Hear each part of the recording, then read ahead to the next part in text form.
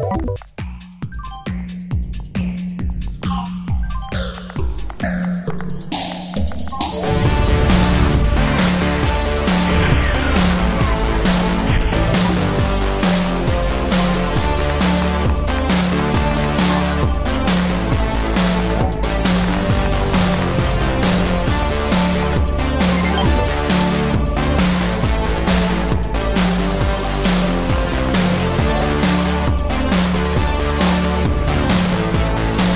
La violencia en redes sociales te aleja de los demás. Bajemos el tono. Cuando veas comentarios violentos, exprésate con el contenido de bajemoseltono.com.